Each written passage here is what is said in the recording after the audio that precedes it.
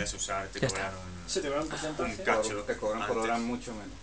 Y luego la hora Te cobran por hora menos, pero digamos que, eh, que es algo que, bueno, que si, vas a comprar 10 máquinas, pues de repente te encuentras con una factura de 7.000 dólares y dices, bueno, y esto es sin, sin haber empezado a usarlas, ¿no?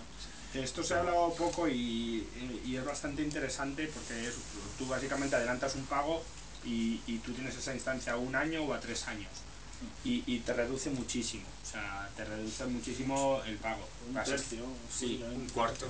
que Tienes que tener tus cálculos de capacidad. Nosotros, por ejemplo, con el RDS, eh, tú, tú cogemos- hemos cogido uno de un tamaño, pues el large, que ahora mismo nos va bien, que creemos que dentro de un año nos va bien. Cogerlo a tres años, te va a servir el mismo servidor de base de datos hasta dentro de tres años. Vas a, vas a poder. am, es- casi que esperas que no. Que, el negocio vaya lo suficientemente bien para que necesites un servidor más potente.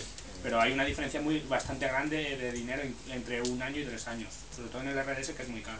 De todas maneras, eh, Amazon trató de corregir eso, dándote ahora la oportunidad de que si tú reservaste una instancia y ya no la necesitas, puedes como que revenderse la, la reservación a otra persona. Es como Con, un mira, marketplace. pero con una comisión que se quedan de la venta también. Bueno, pues, que, que no, van a perder, obviamente ellos no van a perder dinero. Aún, así, este, este modo de reservar la instancia, no, se rese- no compras una máquina y te la ponen y tienes que usarla, sino que tú compras horas de uso de una máquina de un tipo. O sea, tú, por ejemplo, también algún Sí. freelance que he hecho, compraron una instancia reservada, pero usaban medio día usaban una instancia y otro medio día usaban otra. Entonces no, no es que compres una, una instancia física, sino que tú compras horas. Compras 24 horas eh, al día de un tipo de instancia. sí, hay tres tipos, el, el, poco, el, eh, poco uso, el medio y el alto. Y el alto sí es el que, vale, las 24 por 24 siete, horas la quiero reservar.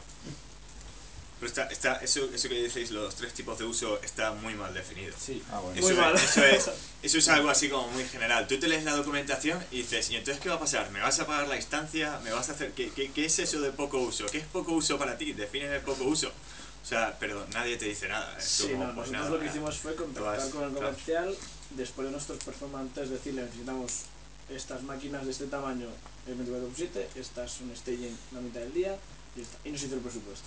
Claro. Y acordamos la cifra ya cerrada, sabiendo las horas que íbamos a tener las máquinas encendidas. Porque si no, en efecto, era como, esto como... No, sí, sí, esto, esto empiezas a sumar y, y es un poco lo que, lo que hablábamos antes. Estas cosas parecen baratas al principio, pero empiezas a sumar un poquito de allí, un poquito de allí, un poquito de allá y acabas con una factura de 15.000 dólares al mes. O sea, fácilmente. Nosotros nos hemos hecho un Excel para poder gestionar. O sea, ellos te dan una calculadora, ¿vale? Pero nosotros nos hemos tenido que hacer, o sea, cogiendo los valores, un, nuestro propio Excel relativamente complejo para poder gestionar, saber más o menos el dinero que, Que rule. que vamos a pagar. No, yo sí recomiendo mm, contactar con el, con el comercial e intentar cerrar. Es- comerciales de es un buen Sí, consejo. sí, nosotros, nosotros Y no tiene- sé si es general o no, pero nos asignaron un comercial y un arquitecto. Tienen API los, sí, sí. los Y el de arquitecto teníamos una call semanal con él durante la fase. Está en Luxemburgo. Sí, sí, son de Luxemburgo. En general, son de Luxemburgo. en general en cualquiera, porque nosotros hemos trabajado además de con Amazon, con eh, Rackspace, con SoftLayer, con Google Computer Engine y tal, eh, todos tienen su comercial que muy amablemente, su comercial y su arquitecto que muy amablemente os van a aconsejar lo que mejor os convenga y estas cosas. Sí, es recomendable. ¿Y, y se puede negociar con ellos precio o Sí, sí, van sí, a sí, no, no, por supuesto. No solo eso, sino que además eh, muchas veces, eh, pues eh, lo primero es cuando hay un incendio, eh, si directamente eh, acudes a esta gente, en plan, oye, se me acaba de caer una máquina o acaba de pasar algo, yo qué sé, cuando hay un incendio de verdad, Ah, sí. ¿no? Eh, a esta gente puedes acudir y directamente eh, eh, te, te echan una mano incluso internamente dentro del equipo, en plan de, oye, he perdido un, un Elastic Block Storage. El Elastic Block Storage, en las instancias de, de Amazon, de Amazon tienen dos tipos de storage. Uno que es eh, eh, efímero y el efímero, efímero, en plan de cuando reinicias se borra. Y otro que es el Elastic Block Storage, que es el, el fijo, ¿no? El que ellos te garantizan y hasta cierto punto no van a perder los datos. Pero eso es mentira. Bueno, garantizan un 99,99999. No, no, no, no, sí, es, es- es- son menos. En, este- en el Elastic Block Storage es menos. El caso es que este tipo de gente es la que cuando pierdes esos datos y dices, joder, la hemos liado. eh, esta gente es la que puedes acudir y, y, y te, te, vamos, te, te ayudan, te echan un cable y, y la verdad es que funciona, funciona muy bien. Sí, de hecho, nosotros cuando hemos puesto casos de soporte, como viene el número de clientes y no, a ellos eh, creo que les llega un, un correo, Exacto, sí, tu sí. cliente no tal ha puesto Sí, este sí, caso. sí, sí, sí, sí, sí. Es más, si, si luego, por ejemplo, hay, hay algo que pasa mucho en Amazon y en, en otros sistemas, y es que hay veces que igual levantas una máquina, pero la máquina por cualquier razón no funciona o hay algo que está mal y tal, y luego te encuentras con una, igual, igual ellos están probando cosas y se te dejan una máquina large, extra large, de 32 núcleos encendida dos semanas y acabas con una factura de 7.000 dólares en dos semanas y para una máquina, ¿no? Y entonces esta gente es la que directamente puedes acudir y decirles, oye, eh, ha pasado esto. Eh, ¿Qué hacemos? No porque, porque realmente la, la documentación en Amazon y en estas cosas está, está muy mal. Y el botón de ayuda y el botón de soporte, que me digan dónde está porque yo no lo he encontrado. Lo único que tiene son los foros, Exacto, exacto, los foros. unos Y tú foros. ponte, tú, tú pon un, tú pon un post en un foro de, oye, me debéis 7 mil dólares, a ver, a ver cuándo, a ver cuándo, a ver Y cuándo me lo el- El devuelves. escondido formulario para pedir un aumento de todos los límites iniciales. Sí, Es sí. escondido formulario. No, sí, sí, te- sigue- sigamos porque si no empezamos y...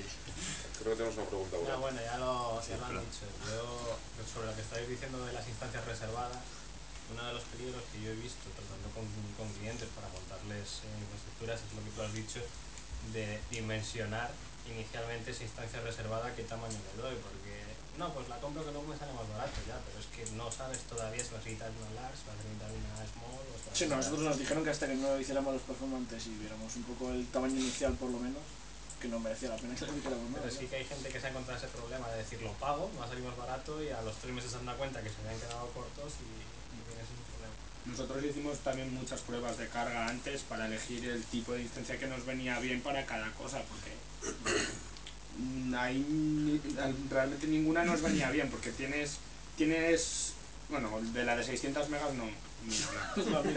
La de 1,7 gigas de RAM va bien, bueno, según ¿no? las aplicaciones que tengas, pero tiene muy poca proceso- capacidad de proceso.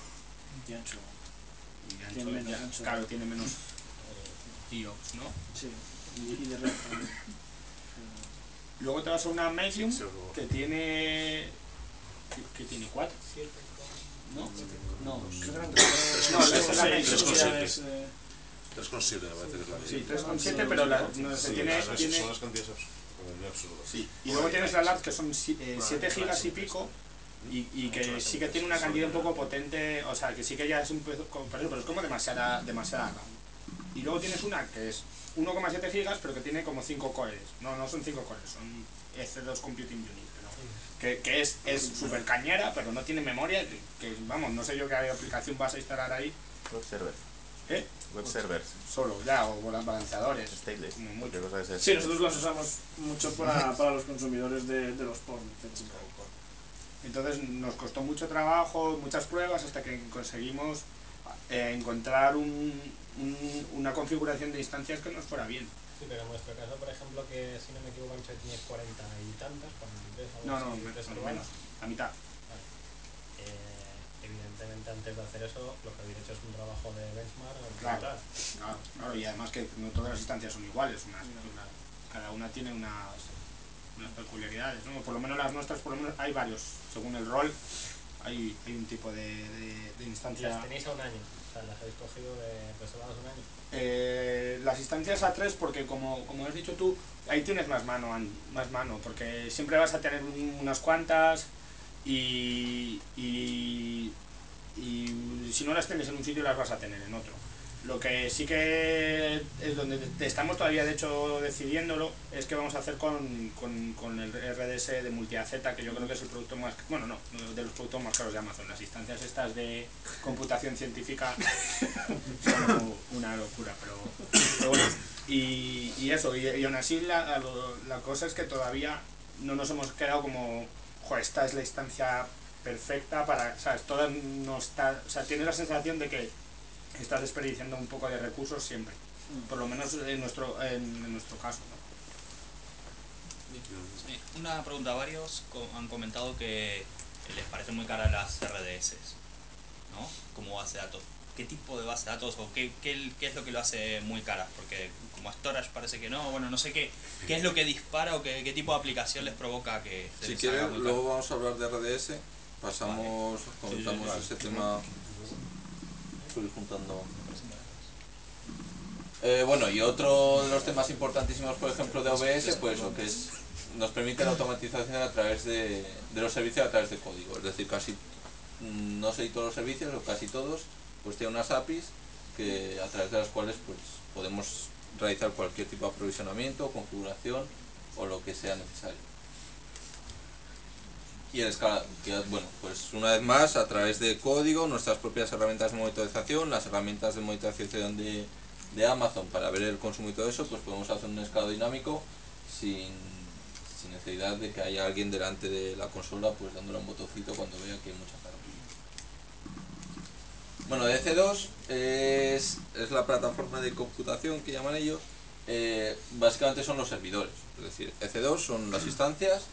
Nosotros levantamos una instancia de EC2 y levantamos un servidor que como han comentado eh, aquí los colegas, pues, pues, pues hay de varios tipos, de diferentes... eh, no sé si lo tenía por aquí. No. Hay de hay familias de servidores que llaman ellos, que son la estándar, las de memoria, pues que son más o sea, tienen más recursos de memoria, las de CPU que tienen más recursos de CPU, las de GPU cluster, las que tienen mejor entrada salida, eh, las que tienen pues mucho mucho tamaño de almacenamiento, hay varios tipos. Entonces, de cada tipo, de cada familia, pues también hay varios niveles. Eh, normalmente, o sea, hay tres formas de pago que también lo han comentado. Eh, el pago por uso simple, simple y duro, o sea, tú levantas una instancia, pagas lo que la uses. El, el spot, que posiblemente lo saben definir mejor, pero es una especie como de subasta. Sí, es como la bolsa.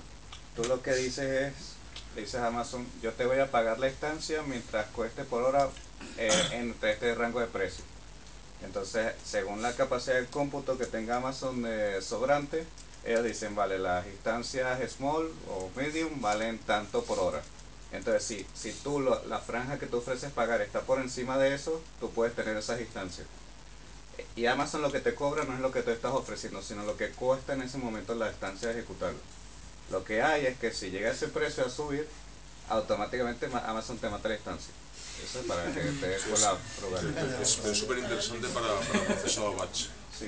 Cuando tienes, tienes que tirar, dices, "Ah, tengo que hacer este proceso, me da igual tenerlo hecho o tenerlo el viernes, te aprovechas de lo que, lo que hacen ellos de tirar, de tirar su entorno. Entonces ellos cogen, tiran su entorno y de repente Amazon se encuentra con un montón de potencia libre y te la vende súper barata. Eso es, es perfecto. ¿no? Es un- Eh, caso de uso que da, ofrece Amazon de eso es Vimeo, que para procesar los vídeos ellos tienen una cola donde están los vídeos por procesar y según la, lo que se necesiten tienen unas instancias dedicadas a procesar vídeos, pero si el, el dinero que ellos ofrecen por lo que cuestan las instancias es más alto, se lanzan unas spots que también son workers para procesar vídeos. Si de repente, si sube el precio, to- automáticamente otra vez se les mueren esas instancias, pero siguen ellos con las que tenían originalmente. Y entonces tardan más en, en procesarlos. Sí, pero No cuando es más barato, usa- eh, va más, Claro. tiras más. Interesante. No, no sé si alguno lo habéis hecho, a mí lo que me, me ha, me ha comentado alguna gente es que hay, y esto es un spoiler, si haces el bid al precio de mercado, nunca va a subir del precio de mercado. Entonces, cuando es barata, es barata, cuando es cara, es el precio normal.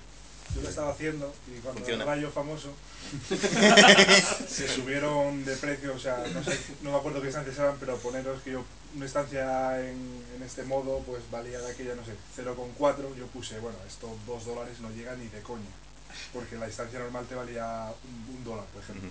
Cuando el rayo famoso empezaron a irse todas las instancias de precio y había instancias en producción que se fueron, eso, doblando, eso, si valía un dólar yo lo había puesto a dos y se apagaron un montón de instancias por eso. Aparte del rayo, de eso, de la. Si hubieras invertido, te hubieras hecho millonario. Bueno, y luego pues está el, digamos, el otro modo que han comentado, pues reservas anuales y, y trianuales. Solo esos dos tipos. Sí, que. Eh, sí, solo eso. Vale.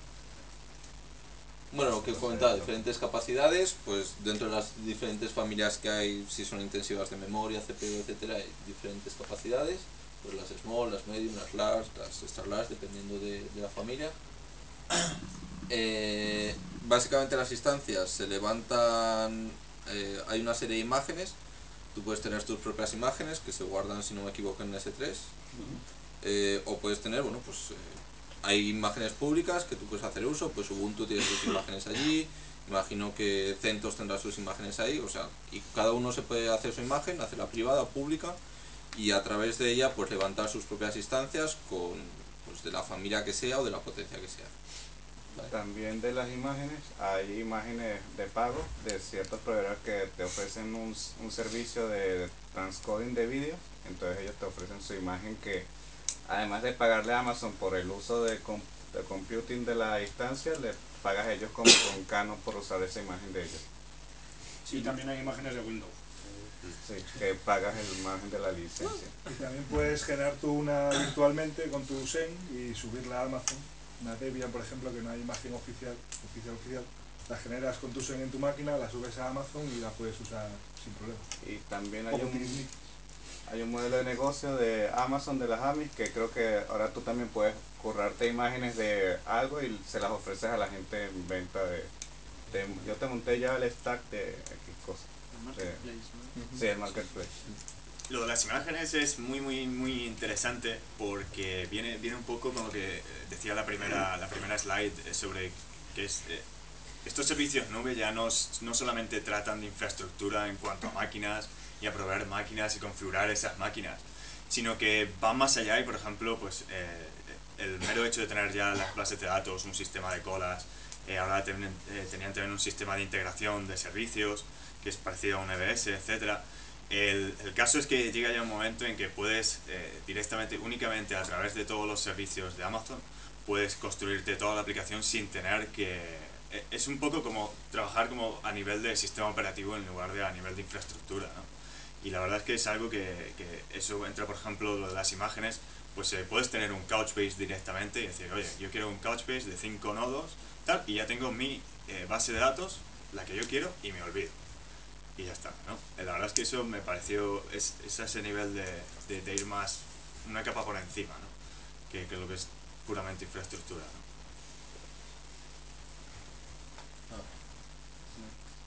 Bueno, las famosas unidades de procesamiento, que es eh, algo que, por lo que yo entiendo, es algo que se han inventado. Ellos, sí, es como una especie de imagen. Ellos no te ponen cores en una máquina, ni cores virtuales, sino que te ponen lo que ellos llaman unidades de procesamiento. Hoy estaba buscando para intentar dar una descripción que fuera más allá de mi entendimiento, y por ejemplo hay una parte en la documentación que ellos te dicen que una unidad de sistema de C2 proporciona una capacidad de CPU equivalente de un procesador Opteron 2007 o sea un 2007 de 1,0 a 1,2 GHz. Para calcular eso. Es decir, la única forma de saberlo es comprarte un Opteron de 2007 de de 2007 de 1,1 1,2 y probarla a ver si funciona igual. Y quitar un poquito el Zen. Sí, sí. Se pone todavía más interesante porque, de hecho, eh, eh, no se está quedando eso como estándar y ahora cada uno está saliendo con su propia medida de unidades en cada sistema de la nube. Es decir, Google tiene también su unidad de computación que equivale a otra cosa totalmente diferente que no tiene nada que ver.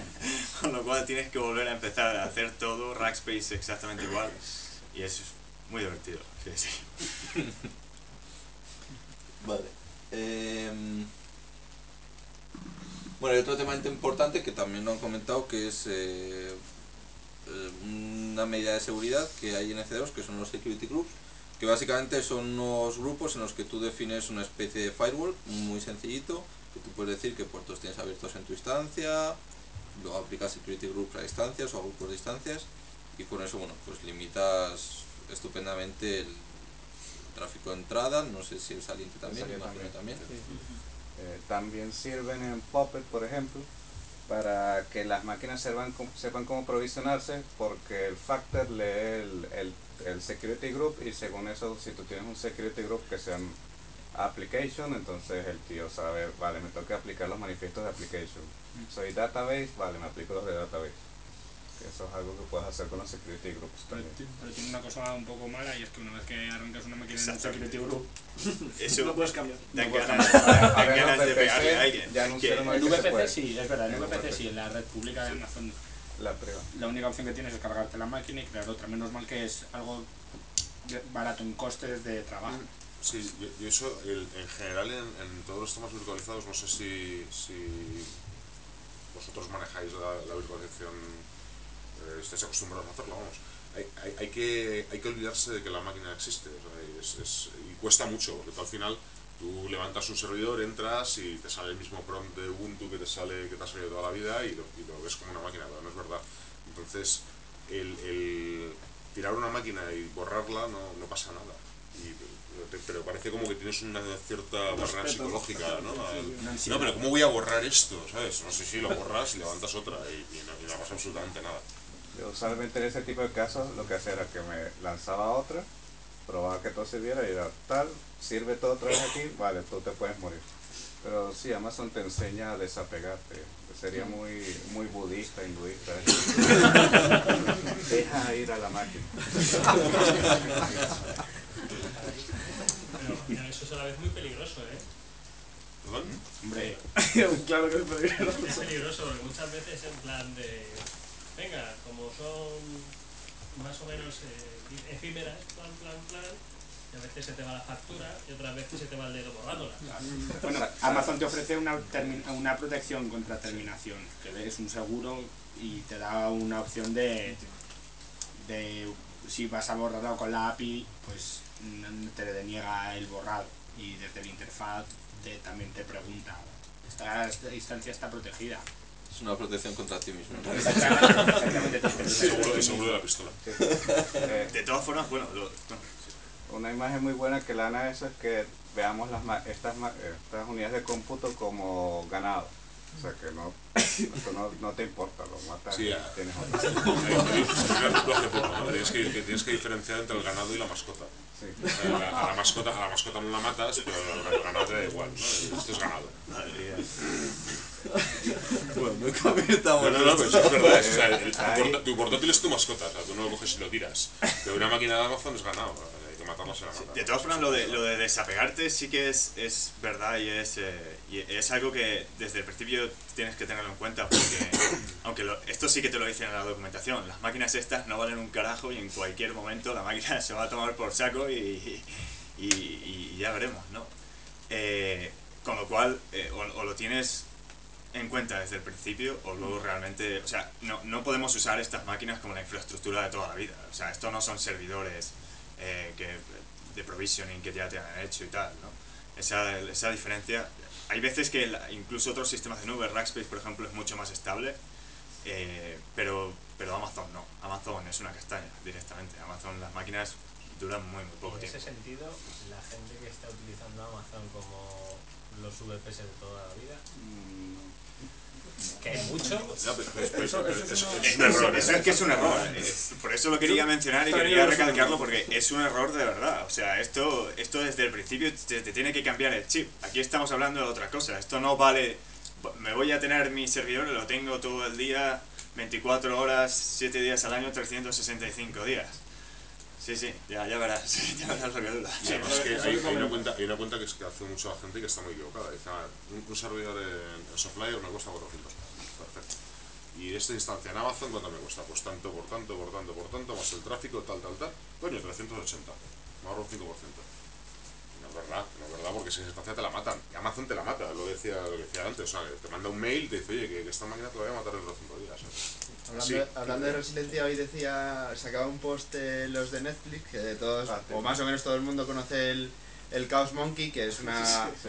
un sistema que se dedica a matar servidores para probar su... su- Aleatoriamente. aleatoriamente, para probar su resiliencia, pues publicaban que tienen otro servicio que se llama eh, Chaos Gorilla, que mata eh, zonas enteras de, de, de Amazon para estar seguros de que también soportan eso. O sea, que ya no solo te tienes que pasar al... No te hagas muy amigo de tu máquina, sino no te hagas muy amigo de la zona donde está. Pero es que, pero es que además en el momento en que, en que haces, empiezas a hacer eso y dices, vale, pues tengo que tener dos máquinas. Ya son 380. O sea, ya, ya el- el- el- la ventaja de coste que has visto antes erróneamente ha desaparecido. No, ¿dónde guardáis los backups? Porque los problemas que hubo hace como dos años ya, cuando se cayó la zona famosa, todo eso, el problema que la gente decía, pero tengo aquí en mi EBS o en mi S3 de, de esta zona y tengo todo para recuperarlo y lo voy a levantar, no vas a levantar nada. Ese fallo del algoritmo que hace el backup. y ese- S3, es- nosotros S3 en los zonas. Nosotros en S3 estamos ahora mirando a alguien que nos dé un servicio parecido a S3 en Europa. Porque Rackspace dicen que tienen un, un sistema de ficheros, pero todavía no hemos sabido configurar eh, el cliente para que lo guarde en Europa. Es que hay que darle No sé sabe de- Ah, creo que no funciona con Europa, solamente puedes enviar cosas, ya, ya Pero, ellos dicen que sí, pero luego no hay documentación. Falla. Bueno, la, la cosa es que estamos buscando algo porque obviamente no, yo, o sea, no, Si quieres tirar un Rackspace tienes que ir a la versión UK. Ya está. en la web de UK Sí. Es que si tiras de la .com, te llevas vas a los Estados Unidos. servicios de Estados Unidos. La- Funcionan la- así. Yo tengo un contacto de un comercial, si quieres pues, si no lo guardas en Mega y. Venga. Una, una pregunta de sondeo. Hablando del desapego, por curiosidad quería saber cuántos de los presentes tenéis desapego a vuestra workstation. ¿Cuántos tenéis automatizado el despliegue de vuestra, de vuestra workstation? ¿Cuántos podéis coger, tirarla contra el suelo, darla y decir, ¿Vale, no pasa nada? ¿Vale un backup? ¿Vale el backup? Mm, no. Mm, Yo uso Fedora, me cambian cada poco, así que sí, no, no, no es de un día para otro, pero, pero vamos, sí que está bastante. Todo está aquí. Yo, yo es que no tengo, vamos, y, y con Google y el Drive y tal, directamente uso muy poco. Yo uso una cosa que se llama Soloist, que lo hicieron la gente de New Relic para la gente que empezará nueva en la empresa. Les hacen toda la instalación de los Macs con todo, pues Homebrew, todo lo que, todas las herramientas del, Mac, pues, pues, los repositorios y todo. Y es como una especie de chef más minimalista así. Y sí que lo uso. Y además es que no le tengo nada pegado a mi ordenador. Yo la mía del curro la fue ayer. o sea y la tengo con, con, con Ubuntu completamente inestable. sea, Eh, GitHub creo que también saca una solución similar Mm. eh, para Mac, que es, se llama Boxing. Boxen. Sí. Sí, sí, sí. Hace poco además. Sí, sí. Sí, sí. Sí. Sí. Esta es un hack bastante. Pero bueno, funciona. ¿no? Em, bueno, EC2 con EBS, también se ha hablado bastante de EBS, que es básicamente el almacenamiento persistente. Eh, al menos al principio, el problema principal con EBS eh, era que el, bueno, el rendimiento de IO era, era terrible. Y además era poco predecible, si no me equivoco. No Eh, había muy, muy variable. O sea, un día podías tener un buen rendimiento y otro día que parecía que te hubiesen cambiado pues, los discos a una cosa totalmente diferente. Pero eso es verdad con todo, ¿eh? Eso es verdad con todo en estas máquinas. Luego, luego si queréis lo mencionamos en la parte de performance y tal, pero el, el ancho de banda cambia, la capacidad de proceso cambia, la, o sea, los benchmarks que un día haces a, los, a la semana pueden ser totalmente diferentes. O sea, esto es, eh, es un poco eh, wishful thinking que pensar que... Un- Una duda, es que me, me estoy quedando muy preocupado porque soy un usuario contento de, de Amazon. Entonces, a ver si No, no, un, no. un poquito de tiempo después para que digáis por qué lo habéis elegido. Porque es que no me Sí, no, yo, yo tengo unos pros y unos contras ahí. Es que No, no, no, que, claro. que, o sea, que, que Amazon que funciona muy bien, que, que una cosa no quita la otra. funciona bien, Es que lo, funciona bien, lo que estaba pero, escuchando pero es, es que súper es estas caro. cosas. Te quitan los ordenadores cuando quieren y además el rendimiento es malo. No, vamos a ver, el rendimiento no es que sea malo, el rendimiento es inestable, es que no es lo mismo, es inestable, es diferente. Sí, porque puede influir que hagas, bueno, eso lo comentamos luego, que hagas un precalentamiento de los balances, que no. O sea, hay muchas cosas que pues, son variables. A ver, está en una máquina virtual, si tienes a un vecino cabrón, A ver, que, o mala sea, yo- suerte. ¿Qué- ¿Cuál es la solución a veces que te da Amazon? Eh, lanza otra instancia, matas a esa y, y ten suerte de que al azar te toque un host menos ocupado. Bueno, tienes un hardware dedicado también, pero creo que son 3.000 dólares Ah, bueno, al mes, sí. una cosa así. sí, Pero la- la- la- la. Sale de la El VPC. Sobre EBS, eh, vea- eh, tienes que verlo como un, eh, como un eh, SAN, es como una SAN. En el modo no provisionado lo, lo que pasa es que estás compitiendo por el, eh, estás usando la red y entonces estás compitiendo con la red por disco y por la red.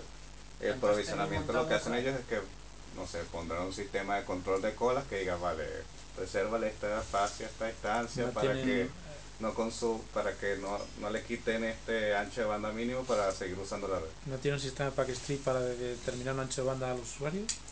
Eh, tú no lo puedes tocar, por eso es provisión.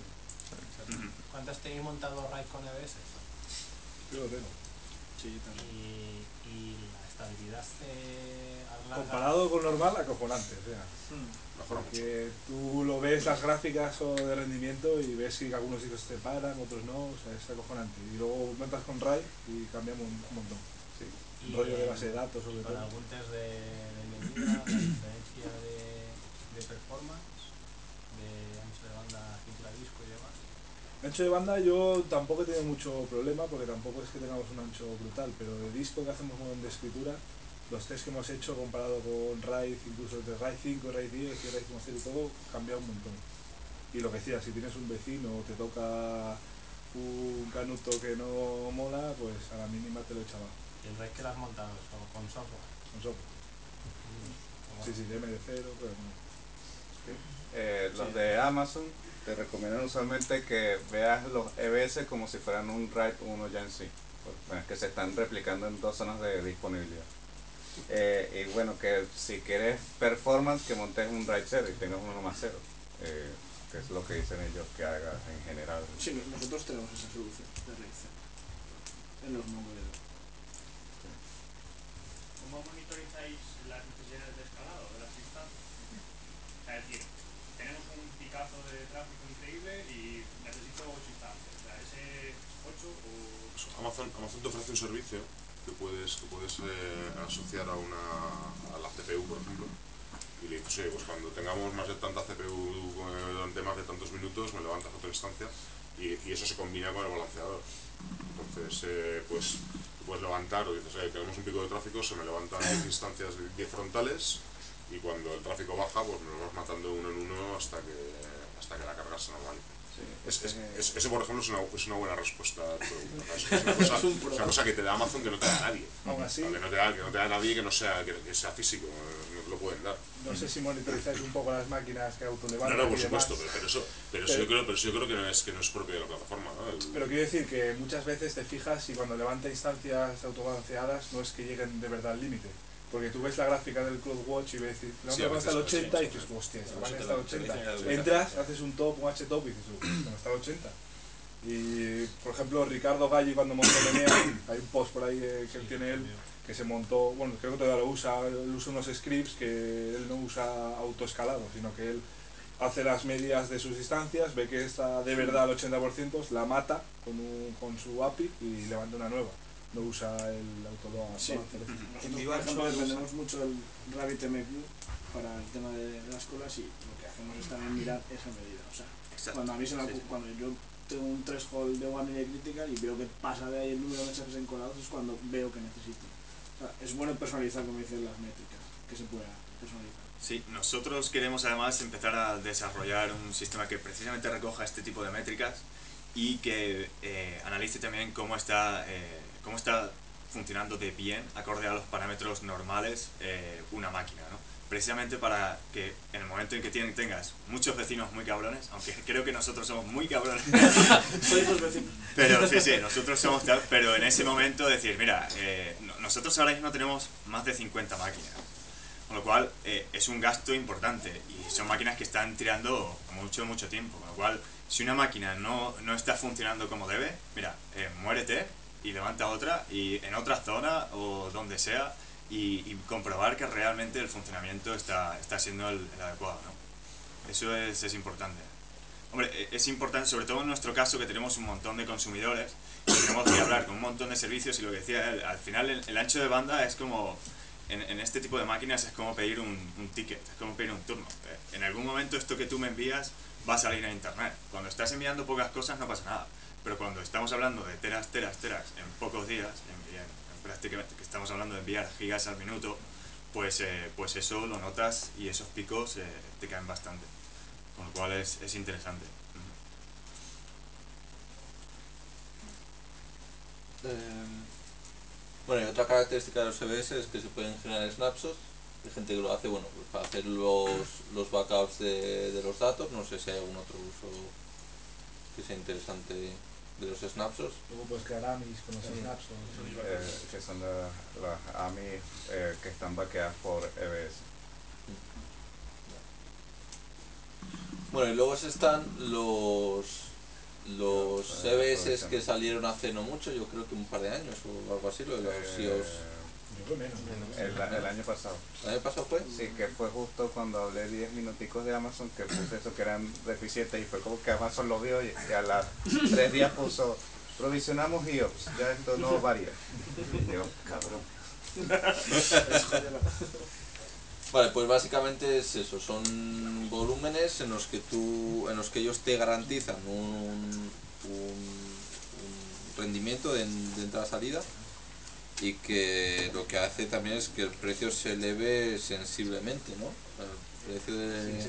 No, no, sí, sí, la parte es sensible. O sea, es brutal, ¿no? Vale. Tienes límites de personas y demás, tienes que andar pidiendo que te metan más. Un poco. Y realmente se nota, o sea, es, es Se estable. nota mucho, pero es como, como dice Jeff Atwood, si tienes que preguntar cuánto cuesta es que no te lo puedes permitir. Es- Yo es una cosa así. Muchas gracias. Hasta luego. Vale. Eh, otro tema que un poco va ligado al tema de C2 es el, es el balanceo. Entonces, por ejemplo, eh, esta gente da un servicio que tú puedes hacer balanceo. Hasta donde yo sé es todo balanceo interno, o sea, es un balanceador que tú mandas carga a las instancias de C2 que tengas, o sea, no es un balanceador de uso general, que tienes el balanceador y mandas carga a máquinas de fuera ni nada parecido. ¿Me equivoco? No, eso Para sí. adentro. Vale. Eh, que te permite, bueno, pues te permite hacer health checks de los backend, o sea, es decir, es un balanceador, básicamente es como un HA proxy, que bueno, según Jacobo probablemente sea un HA proxy. Por los modos que te ofrece, sobre todo lo es, te ofrece HTTP, HTTPS Mm. y TCP. Eh, te lo digo yo por, por lo que sé. Eh, creo que no, yo creo que es un dispositivo Java. Sí. Sí, por ejemplo, la gente de, de Workspace tienen también los mismos modos de, de chequeo que HAProxy, utilizan unos, unos, unos que tienen, no me acuerdo de, de, qué- de qué compañía. Pero luego el tema del, del autoescalado que tiene el, el propio load balancer va- van sacando Pero es que son API Labs, es decir, van, algunos son por software, otros son eso, pero son muy fabricantes. Ok. Porque los, los tenían, eh, los Elastic los tenían antes de que de que HAProxy empezara a ser un proyecto tan, tan gordo.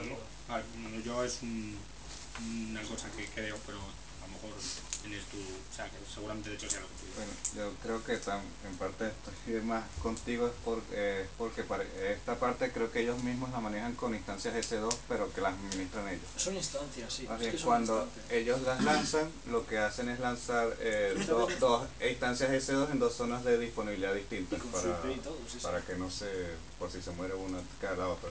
No, no, es lo que Pero balanceador, ti- o sea, tiene su IP y todo como una Sí, sí, no, instancia más. Los, te digo, los APIs estos que, que, que venden son de ese tipo. Algunos son físicos, algunos que los venden en software directamente. Tendrán un mix de, de soluciones de ese tipo.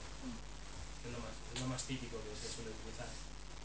Entonces, eh, tú directamente a esos APIs le dices, necesito particionar el balanceador, necesito redimensionar el balanceador, hacer más capacidad, etcétera. Los venden. Vale, Son caros, obviamente. Eso y lo que yo sé, por ejemplo, en el caso de Rackspace es que tuvieron que adaptar un API Java específico para ese para esos tipos de dispositivos que seguramente Amazon tuvieron que tener una solución parecida.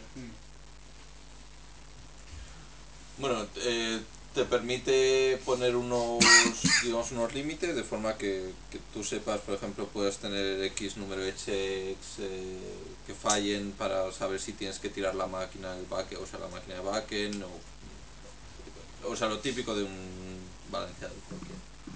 Eh, antes de terminar, eh, bueno, hay- otras por- partes importantes que las anoté. es El, los balanceadores, eh, Amazon te recomienda que si tú sabes que vas a tener un golpe de tráfico importante, ejemplo, te promociones en un juego de fútbol como el de ahora y te ve la gente y se mete en tu página, que es que les avises a ellos antes para que te hagan un pre-warming de los balanceadores.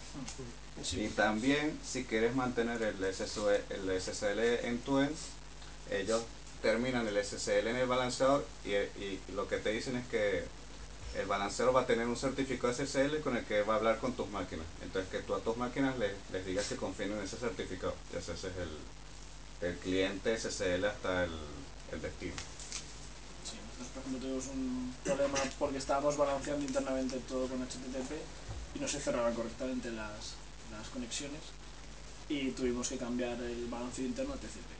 O sea, solo usamos el HTTPS para, los, para la- el balanceador del Apache y para el resto el rendimiento ha sido mucho mejor con balanceo de TCP interno.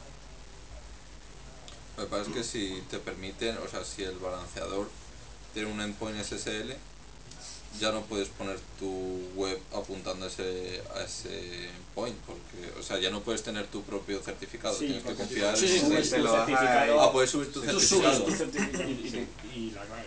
Y mismo sea, la, la- la- un certificado para hablar con tus instancias. Ah, que cabrones, porque por ejemplo en CrowdFront ellos no te permiten subir un certificado propio, entonces, o sea, en unos sí y en otros no, que discriminación. Yo otra, otra cosa curiosa de, eh, yo creo que es por el diseño del EDB, es que balancea por igual entre las zonas a las que está asociado, independientemente del número de distancias que tengas en cada zona. Es decir, que si, aunque en una zona tengas el doble de distancias que en otra, va a balancear por igual a las dos zonas, no va a balancear más el doble de tráfico a la zona en la que tienen más instancias. Es una cosa que te viene en la documentación por ahí perdida, pero es bastante importante para, para diseñar tu grupo de autoescalado también. Vale, bueno, CloudWatch es otro tema que va un poco ligado a EC2, que es bueno, recogida de métricas, bueno, a EC2 y en realidad se puede coger de métricas de cualquier servicio en realidad. Eh, puedes generar alertas basadas en métricas, pues sería como una especie de Nagios, ¿no? CloudWatch. Y el autoescalado que yo sepa también lo puedes hacer en base a las métricas de CloudWatch, ¿no? Entonces, bueno, pues es otro punto que, como decías tú, es, es un poco mentira, ¿no? O sea, tú haces un Sí. autoescalado basado en ellos y Tú te das unas gráficas que tú tienes que fiar de ellas. Te hacen un cuesta. De hecho hay ciertos parámetros que requieren instalar plugins, que no están nativos. Muy básico. El, de- el de memoria no te lo miden de porque ellos no se meten en tu máquina a ver tu uso de memoria. Ellos lo que sabrán Sí. es tu, tu máquina virtual usado tanto, pero adentro no saben qué usa. Esto más bien es un nice to have, ¿ves? O sea, te lo dan y tal, eh, sirve así como ligeramente y tal para controlar las cosas. O sea, está guay, lo puedes tener bien y tal. Pero, pero vamos, si, si necesitas eh, estadísticas de verdad, eh, yo buscaría en otro Una alerta Eso- buena Es como muchos servicios de Amazon que una vez que ya lo tienes montado, pues eso, pues nice to have, que a lo mejor es una startup pequeña o de estas startups americanas que tienen mucha pasta, ah, pongo esto, pongo esto, pongo esto, tienes mogollón de cosas en, en poco dinero, luego las pagas, pero, pero, pero eh, obviamente es un mercado que a ellos les interesa mucho y, y que es muy lucrativo. ¿Sabes? No, aquí que no tenemos tantos presupuestos, a lo mejor pues por eso también lo vemos con, con otra manera, ¿sabes? Diferente. Pero mm, es muy típico en Estados Unidos, ¿no? Que, eh, contratan un, un, un tío de operaciones cuando la empresa ya tiene un volumen de tráfico bastante serio, no, no, no desde el minuto cero o desde el minuto, no sé, un poco más adelante, ¿no? Y, y para ese tipo de casos de uso, pues tiene mucho sentido. Yo lo que recomiendo, la primera alerta que en CloudWatch es de pasta, porque puedes decirle que si en, el, en cuanto pase de 1000 euros, mándame un mail, porque muchas veces lo que, lo que decía él, te arrancan una instancia, o te das cuenta que has dejado una instancia un mes ahí encendida, o una IP sin, sin tenerla asociada a ninguna de estas, y una alerta muy típica es esa. Y el RDS, sobre todo, muy importante. Te pondría una alerta de esas que si pasa más de cierto punto de pasta me compre un pasaje y yo, yo traigo en otro, en un país de Europa del Este para huir.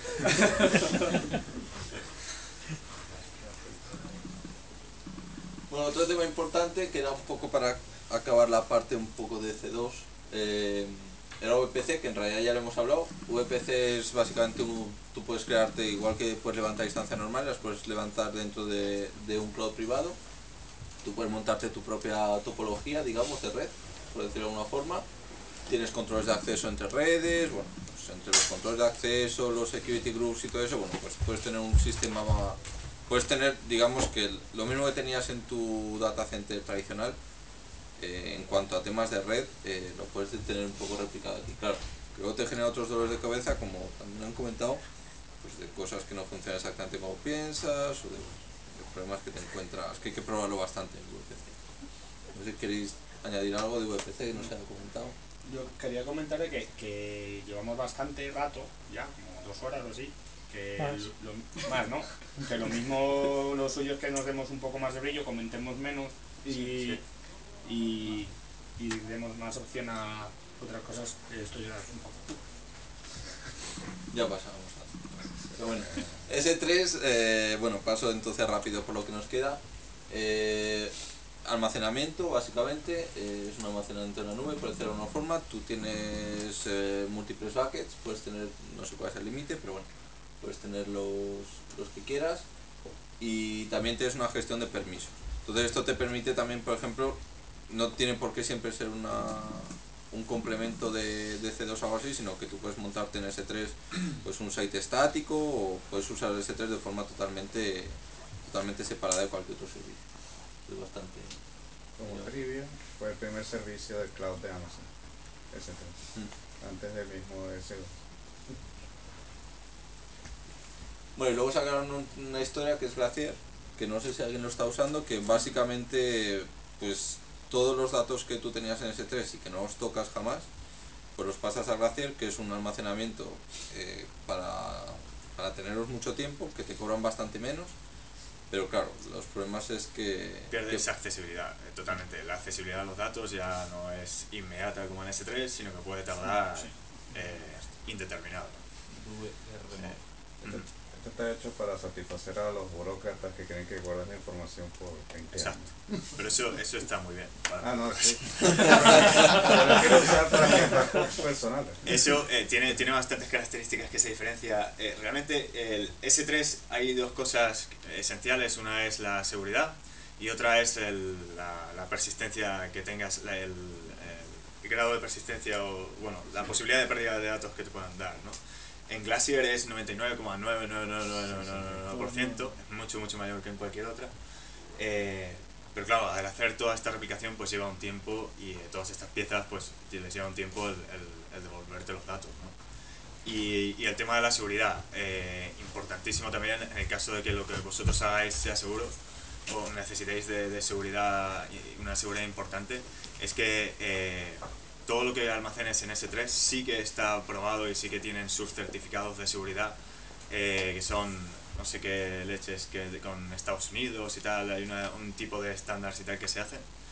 Y eh, con lo cual ellos te garantizan que todo lo que tengas en tu bucket es seguro y no es accesible desde, desde fuera. Que eso es, es importantísimo, sobre todo si vais a guardar datos críticos de empresas, pues ya directamente eh, ya soportáis un estándar más y podéis decir que no, es que yo guardo los datos con este estándar de seguridad que es súper guay. Es, es muy importante. Vale, eh...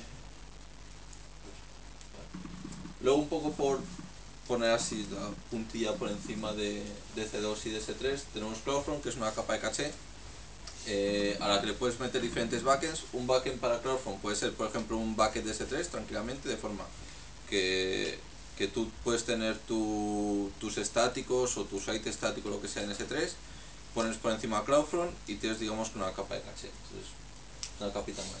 Soporta SPS, DPS. Ah, bueno, y el otro tipo de backend sería, que no lo he comentado, eh, le puedes poner cualquier tipo de backend, es decir, un nombre de dominio. Tú le pones un nombre de dominio, puede ser una instancia en EC2, puede ser un servidor que tienes tú en tu casa, puede ser lo que sea. Entonces es un CDN en toda regla, con un custom origin, le llega una petición, si no lo tiene cacheado se lo pasa al backend, sea S3 o sea un servidor o lo que sea, y, bueno, a partir de ahí pues gestiona la caché eh, con las cachés que tú le pases de tu servicio o con unas custom caché, tú le puedes decir un TTL para cada objeto y él gestiona todo eso.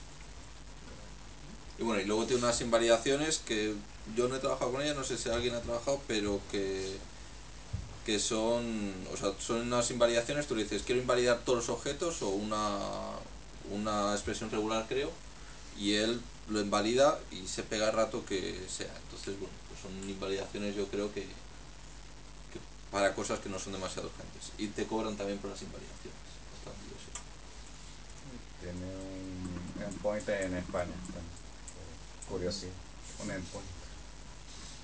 Bueno, los path también, que según la, petición, bueno, pues puedes mandárselo, o sea, puedes poner varios servidores y según la petición, pues según la URL se lo manda un, a un custom origin u otro, un servidor, un S3, lo que sea, un bucket diferente, etcétera.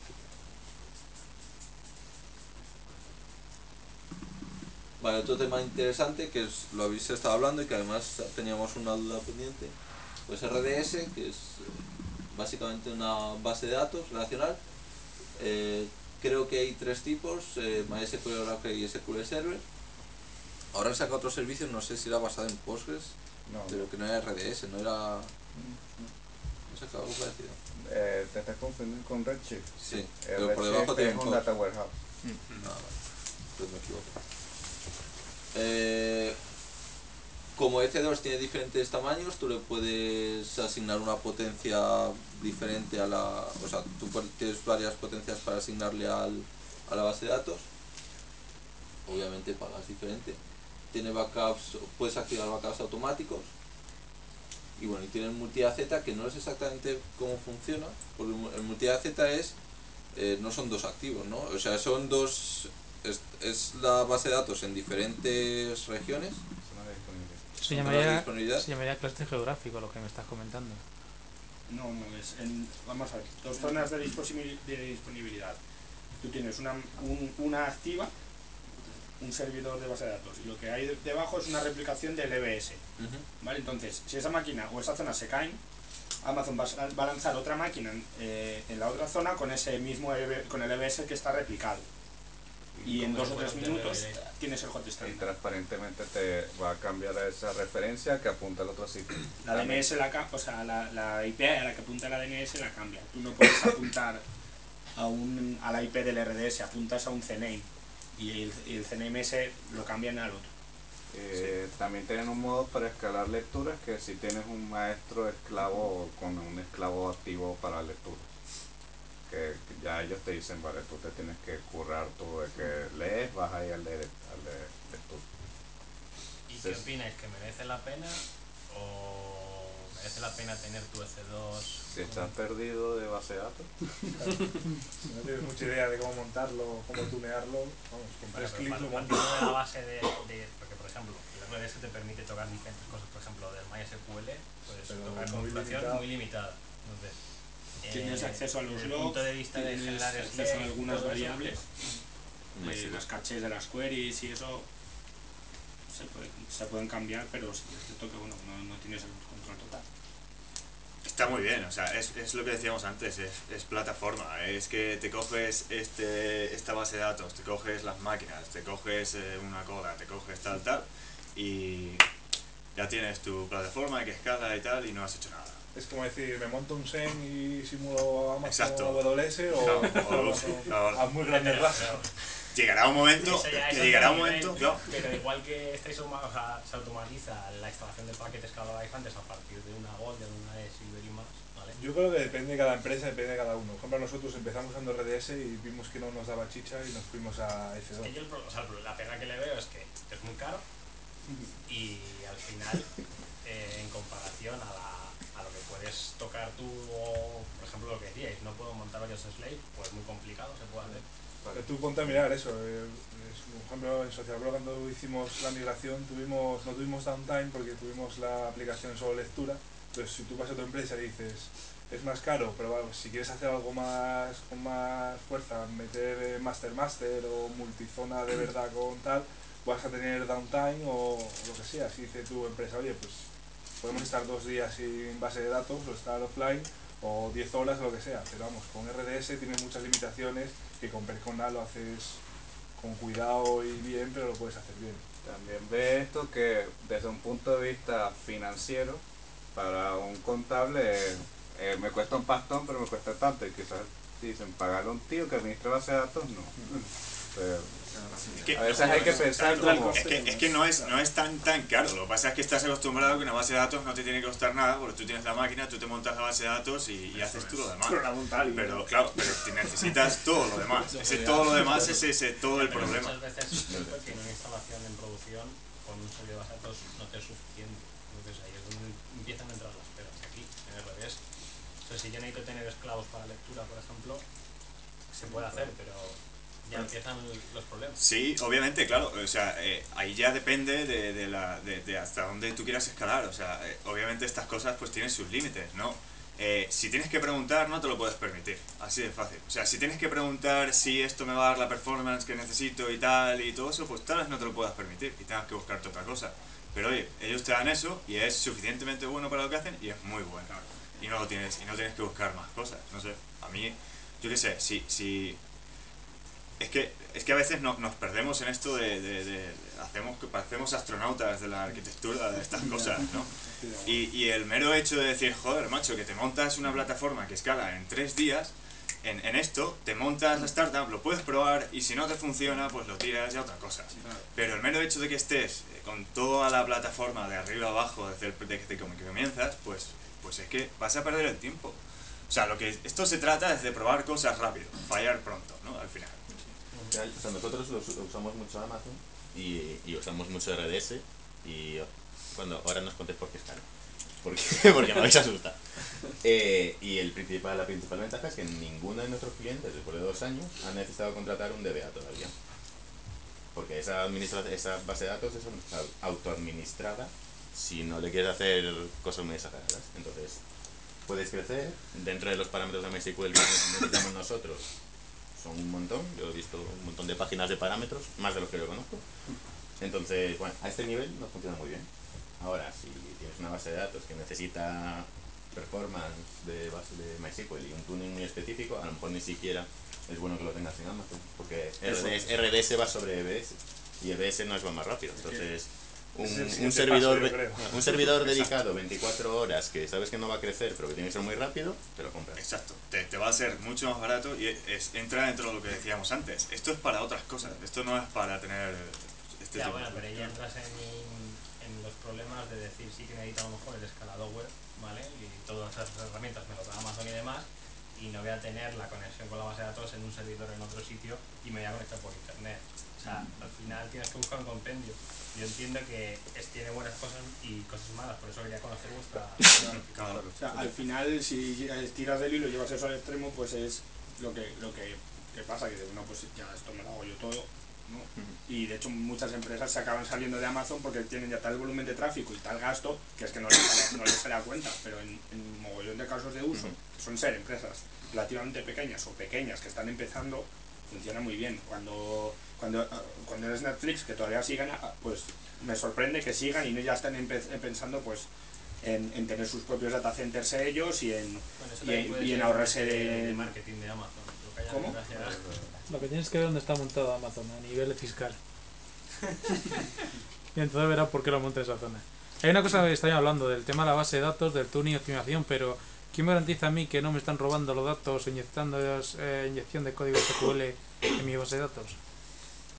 La inyección de código SQL ya será responsabilidad de tu aplicación, porque para ellos es la base de datos. Es, es la gran diferencia que hay. Es decir, aquí tengo otra persona que siguiendo los parámetros de seguridad que hemos estado hablando anteriormente, es, eh, según Estados Unidos, que el tema de la seguridad social de los empleados, datos que hay, por ejemplo, aquí en España que no pueden salir fuera, otra empresa que tiene otro producto que a lo mejor si ese producto no puede ser comercializado en esos países porque son estratégicos, yo cómo tengo garantía de que realmente esos, eso se está cumpliendo? No lo hay. Es la prueba de fe papal de que la- el PCI, el PCI dice, mira, esto sirve para que tú puedas montar infraestru- Hombre, eh, infraestructuras que manejen para tarjetas de crédito. Y vale, si, le dicen, si te lo dice el PCI, bueno, tú Hombre, ahí- estás creyendo sí. en ello. A- Amazon, Sí, si Amazon te dice estos datos, por ejemplo, un, una- una- un, un caso normal suele ser que, por ejemplo, al final un contrato con una empresa en Estados Unidos te dicen estos datos no pueden salir de este lugar o de esta zona, ¿no? Estos datos no pueden salir, por ejemplo, de esta zona de Amazon o donde sea, ¿no? Pues eh, tú directamente pagas, tú pagas porque Amazon tiene un certificado de cierta gente que ha controlado que eso sea verdad. Al final es un poco lo que, lo pagas. Eh, ellos te lo dan. ¿Que te vale y te, te ahorras problemas? Pues, pues bien. Que no te vale y la empresa no se lo cree porque ellos además, o sea, luego ellos externamente esta empresa puede llegar a puede llegar a, a auditar eso, o sea, puede llegar a, a querer a querer ver y, y querer comprobarlo, ¿no? Eh, pues te tienes que buscar otra cosa.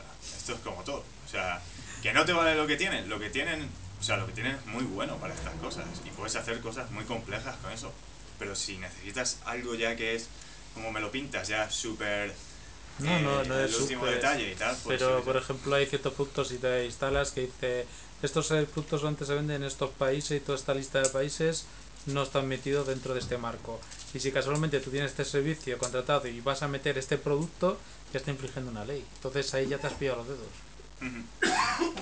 Sí, sí, sí, sí. No, es- esas cosas, por ejemplo, son las... eh, A ver, en principio tú contratas solo en un país eh, los servicios de Amazon. Eso es lo que no me queda muy claro. No, no. Tú puedes contratar en, en varios. Y de hecho Sí, nosotros... bueno, pero pero quiero tú decir, dices nosotros uno. com- no- Tú nuestros servidores están Tú en. Irlanda. Exacto. Por ejemplo. Pero, pero nosotros, por ejemplo, lo que tenemos son varios deploys en varios lugares e incluso varias nubes. Nosotros, por ejemplo, tenemos, eh, tenemos un deploy en el Compute Engine, en el Google Compute Engine, porque nosotros vendemos como una feature que tus datos no salen de Google. Tus datos no salen a Internet. O sea, todo ocurre dentro de Google. Y punto. Y eso se ve como una feature grandísima. Es una, es una, el tener esa flexibilidad y el, pero eso ya lo tienes que ver como qué, qué ventajas competitivas puedes elegir y cómo, cómo tú decides diseñar tu sistema alrededor de estas cosas, ¿no? Claro, pero, pero ahí ya pues, es una balanza, ¿no? Como todo. Tú tienes que elegir tus batallas y, y dónde puedes ganar dinero. Y no parece Al ser un problema de Amazon versus otro proveedor, sino es Amazon versus nada. O yo en mi casa. Porque Me quedo si en no mi es casa. igual. No, si no, es el mismo caso. Es Amazon versus, no sé, gigas aquí Bueno, en ¿y España. ¿quién te, quién te garantiza que el, tío, el chico nuevo que has contratado no te está haciendo un mirror? O, o que el, el data center legendario español Sí, va a darte claro, claro. mejor servicio. ¿Y, y el precio de RDS, que es caro? ¿Por, por qué es caro? No sé, en los cuatro clics eh, configurar. Es caro en comparación a una CF. S2 equivalente. Claro. Claro. Pero porque es otras funcionalidades. No, pero, o sea, como un EC2 equivalente es 10% más caro, no es mucho más. Depende. O sea, si, si, le, si contratas multi-AZ multi-AZ y Hombre, Overflow, más te sube, yo creo que es con el multi-AZ. El multi-AZ es lo caro. Lo más Es lo caro. Sí, el, el normal, bueno, se deja. Se No, puede es que pagar. me, es que me O había, sea, me había metido pero, sí que es, es cierto que es un tema, yo creo, más de visión que tenemos nosotros. La multi-AZ, la multi-AZ, la alternativa multi-AZ es ponerte un, es- un esclavo en el, en el este y ya está. O sea, Eso, tienes una redundancia en la misma en la misma zona, si cae la zona estás jodido, pero si no, Bueno, es ponerte un esclavo y luego ver cómo automatizas el cambio de los endpoints. es que Que no Sí, Lo que- lo- nosotros hemos, hemos visto que Vale, o sea, vale. es- a, a- misma, a misma máquina es un poquito más caro el EC2, el, el RDS. Pero tengo backups con restauración en cualquier momento del tiempo, tengo todas estas cosas. Y, y tener, o sea, si vamos a poner Master Slave o si vamos a poner multi-AZ y tengo que levantar dos o tres instancias, ya el precio de las instancias es muchísimo más caro. Y si después tengo que mm, tener a un tío monitorizando los logs y haciéndome rotación de logs y backups a lo que sea, y etcétera, es un sueldo. Entonces, Eh, bueno, además el upgrade lo hacen automático con el multi-AZ por defecto, que lo que hacen es que te eh, tienen una, con la versión MySQL, por ejemplo, más actualizada, te cambian y vuelven a degradar la del donde estás originalmente. sí, o sea, el, que eso lo, lo echo de menos en las, en las, eh, en los EC2. El poder cambiar el, el procesador a algo más potente dinámicamente que lo hace RDS, por ejemplo. Y el, hago, arranco, hago una imagen, y Sí. arranco paralelo. sí, al final sí, sí, si tienes las... Si puedes tener unos. O sea, lo hacemos con otras cosas, pero... A, ve- a veces, a veces en vez de hacer un segundo deploy me apetecería simplemente tipo Heroku. Ah, Pero, pero sí. Eso que acabas de decir, ¿os fiáis de los snapshots en caliente? Yo, ¿Os han fallado alguna vez? Bueno, depende, no, no, de MySQL no lo haría.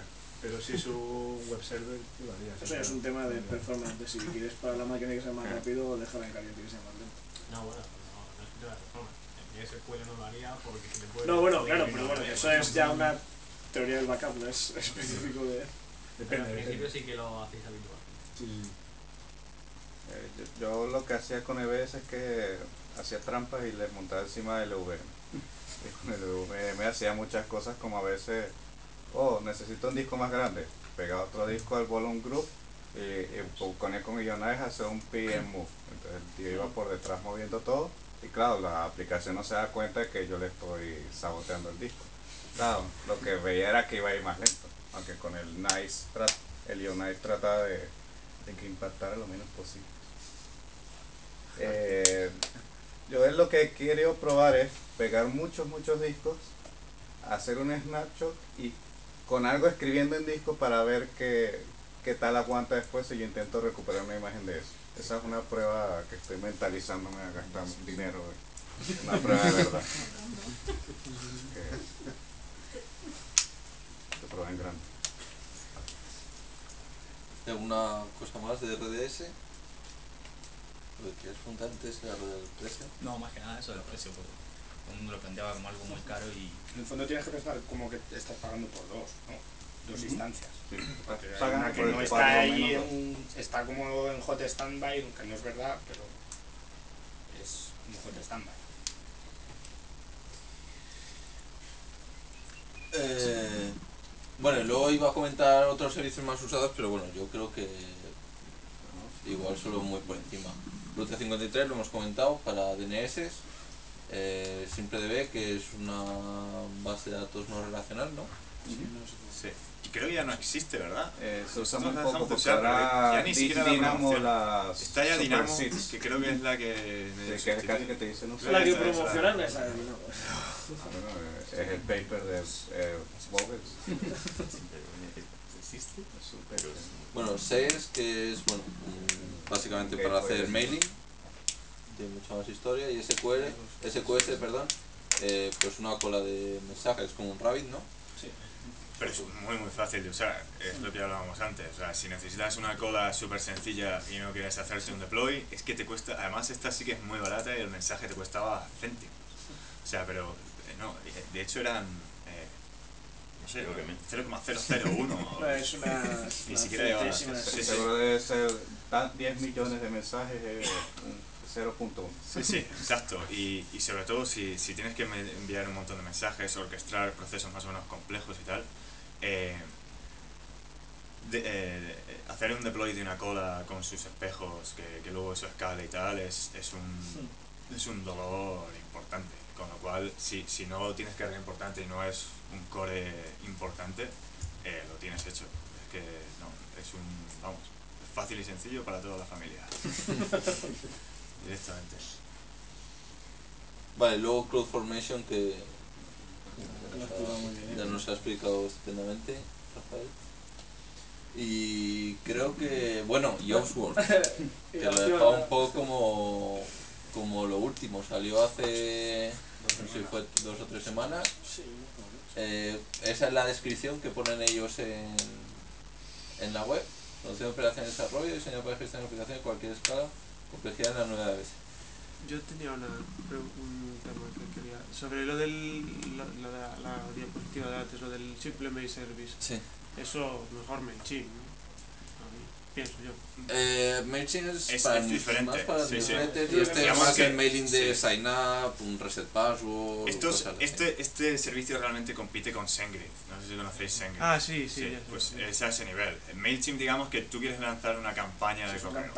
Y es como, voy a enviar... O sea, esto es como una cola, por así decir, como un. tener un. Esto es envío instantáneo. Es Tú como quieres tener enviar tu MTA mandando Sin embargo, un MailChimp, es- MailChimp, ellos no te aseguran cuánto tiempo van a tardar en enviar todos los correos que tú les des. MailChimp tiene el servicio de que canceló hace poco que Claro. equivalente. Y que con, si tienes MailChimp tienes gratis, entre comillas, Mandrill. Nosotros lo, lo usábamos hasta que nos dieron gratis Mandrill y es lo mismo. Es extremadamente barato eso también. Nosotros estábamos usando hasta ahora un, mailer normal para sign-ups, los típicos emails que mandas reset, todo eso. Creo que estamos pagando unos, por el volumen que tenemos, unos 50 euros al mes. Y vamos a empezar a usar esto y vamos a empezar a pagar 20 céntimos al mes, así por el mismo uso. Entonces, bueno, es de esas cosas de Amazon que es como una droga, que es- dices, es que si no me paso a esto, soy gilipollas. Luego, claro, es sí. Como una droga. Sí. Decir que no se droga aquí. La pega de, Amazon SES es que la experiencia que yo tengo de, de bastante gente comentando es que eh, tiene mucho entrega en spam. Sí. Yo no lo tengo contrastado, pero sí que es cierto, incluso yo listas suscritos al pasar a Amazon SES de repente han ido a spam. Sí, eso. Además, es el una de- ventaja añadida respecto sea, en otros a- servicios. Son más orientados al marketing. Nosotros eh, usamos SendGrid y nos va, nos va muy bien. Además tienes un dashboard de el número de, de mensajes eh, que, bueno, no solamente los bounces y tal, sino que además le puedes meter estadísticas, eh, número de clics que recibes, cuánta gente está enviándote esto, o sea, cuánta gente está abriéndolo, si, si pones, o sea, tiene cierta trazabilidad de tal, bastante, vamos. Eh, a nosotros nos gusta mucho. El A API mí es me una falta mierda, ahí- pero... A mí me falta ahí un servicio, no sé si habéis usado y quería ver vuestra experiencia de Elastic Cache, el, main cache de Amazon. No, yo no lo he usado. Agua. Bueno, y Oxford eh, Es- usa Chef, que es un poco la, lo que más nos emociona a la mayoría. Y básicamente yo lo hablo un poco por lo que he leído, porque no me ha dado tiempo de probarlo, quería probarlo. Pero bueno, básicamente te hace un poco de todo, desde creación de grupos, asignación de recursos. Yo creo que es como un CloudFormation, ¿no? Solo que tuneado y con un chef Yo he hecho una sencillísima prueba de montar un wiki PHP y lo que he visto es que es, un chef solo que hay por detrás. Ajá. Pues mire los logs, un chef solo que se arranque con las recetas que le pones. Podías subir las mías, utilizar las que hay por defecto, a modo stack. Y, y lo que, vamos, es, es básicamente eso, trasladar tu chef solo. a- a Pero a eso le puedes enganchar también gestión de servicios de AWS, no solo la provisión, Sí, la, o sea, claro, la- la- la configuración de dentro Claro, del la sistema. parte de las máquinas, o sea, tú simplemente le dices que una capa MySQL, una capa PHP, aquí está mi código en GitHub o donde sea, eh, eh, coge esta receta de tu stack o coge la mía y lo demás, ya subir la máquina con la IP y ponerle la IP del MySQL al otro, o sea, se hace automático, o sea, te evade de todo lo que es la infraestructura. No, que es una versión antigua de Jet. La versión 9. Sí, eso no lo vi. Es Jet solo y es una versión 9. Lo que pasa es que creo que están trabajando en actualizar. Pues ya va a salir la 11 y será 9 un poco. Un poquito. Yo creo que como todo en Amazon, porque es eso todo. De cara a, a la 11 han cambiado unas cuantas cosas de la API que te vuelven loco. ¿sabes? Entonces, Joder. ahí se te puede liar pardo. Yo, yo lo que creo es que como todos los servicios de Amazon empiezan con una cosa muy pequeña y empiezan a añadir features a un ritmo que me parece bastante rápido para la escala de, en la que trabajan de, bueno, de tamaño y que bueno que, que ahora será eso, será un check solo, pero a, a ver dónde está esto dentro, dentro de unos meses. El- a mí es una de las cosas que más me, me han flipado de Amazon es eso, es la cantidad de, de cosas que sacan y el ritmo en que lo sacan. O sea, hay veces que te cuesta, aunque estés suscrito al feed de, de, de ellos, eh, o sea, menos mal que hacen uno que es el resumen de la semana de, de, de, de lo que han hecho, porque... Bueno, es que estamos hablando de una plataforma que cuando nació hace 6 años, o, Eh, sí, en Sudáfrica. o sea, 6 años. o sea, me parece flipante. Además, está- años. estamos, estamos 2006, hablando, sí, 2006. estábamos hablando mucho de los precios, pero los precios también cambian muchísimo. Sí, y de hecho, los han vuelto a mucho, bajar. sí. Otro, otro pico que dices, oye, pues algo te ahorras. ¿no? Economía Ah, más. sí, sí. Se nos pasó con ese también que Vagrant que ah, tenía un beta de un módulo para provisionar en EC2 también directamente. Que está interesante para los desarrolladores. Vale, y bueno, no te no tiene mucho sentido, pero bueno, si alguien quiere... ¿Algunos de 6 Route 53 os parece lento la resolución de DNS? Me parece cómodo.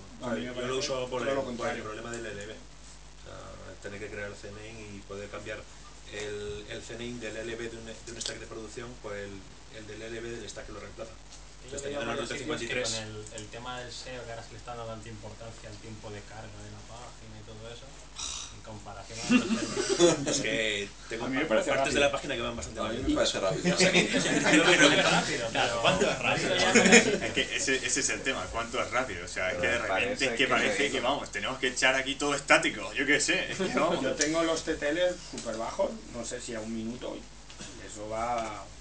Y el tema de usar, en vez de Elastic IP, como el TTL te permiten poner, parece que el mínimo son 60 segundos o algo así.